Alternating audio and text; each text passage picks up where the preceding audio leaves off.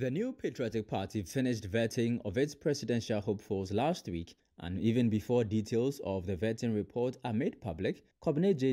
One of the aspirants, has launched his campaign in Accra. Before Kwabena Agyepong mounted the podium, a leading member of the NPP, Kwame Pianim, praised Mr. Agyepong for his contributions towards the party. In order to take Ghana into a new era. All of us as elders of the party encourage as many people as possible to present their visions and their ideas for helping our party to move forward. Political parties are instruments for grooming young people, for building a party, for leadership in a country. They are very, very important. The sacrifices that were made by Baffour Akoto, Eji Dongo, Eji Anto, Aram Bonsan, Daruja, Peter Lajiti, Appiah Menka, Gladys Asman. Now we are looking for people to take their place. Of all the 10 people who have registered their interest in leading this party, to sacrifice for this party, each one of them is eminently qualified and competent to lead this country. We as elders encourage as many people as possible. It's like the blind men who were looking at the elephant and trying to describe the elephant. From our family of NPP, people see the elephant from different perspectives. We encourage these people to go out, expand your flag bearers, those competing for it, go out into the nation and address different aspects from the length and breadth of the country. That's when they energize the party base. And today, I'm here because I encourage all of them, and I'm encouraging Kwabena Agyepong because he has worked for the party, he has suffered for the party, but that's no reason for him to be the flag bearer. It's for him to go around and tell you what he wants to be able to do. I can tell you that Kwabena Agyepong suffered personally. When as a teenager, his father was plucked away from the family home and slaughtered.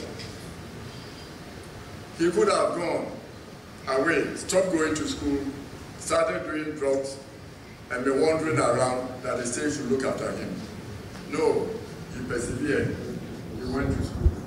And now we have an engineer. Kwabena Agyepong is seeking to lead the NPP after three previously failed attempts. Mr. Agyepong, who was suspended by the party as General Secretary in 2015 for constitutional breaches, says he represents a new direction for the NPP. That we're breaking dependency on the Western donor agencies. The slogan Ghana Beyond Aid rang from the Jubilee House with intensity and vigor. But today, we lie on a stretcher before the International Monetary Fund, the IMF. And Ghana has become, in the eyes of many, a case study of how not to do it. It is true that international climate has been hostile. But how many countries have had inflation skyrocket to 54%? And in fact, food inflation hitting the roof. And our cedi only just slightly recovering after a wild tailspin last year. These are stark signals of economic distress, and we cannot hide these facts. We've had to endure a painful debt exchange program with our pensioners laying siege at the finance ministry. Our party, the NPP, can therefore cannot afford to put forward those who led us to this state I want to repeat myself. Our party, the NPP, therefore, cannot afford to put forward those who led us to this state and expect Ghanaians to embrace them during the 2024 election. Kwabena Agyepong also spoke of his vision for the country.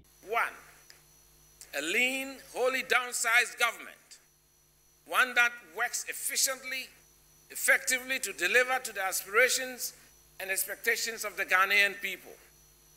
The ministries will be reconfigured to align with the constitutional cap of 19 cabinet to be assisted by an equal number of deputies in addition to the 16 in the regions making up a team of 54. Stakeholder consultations will be undertaken to introduce an upper limit of nine judges on our Supreme Court and possibly remove the retirement age of 70 and allow Supreme Court judges to serve until they are unable to perform their functions.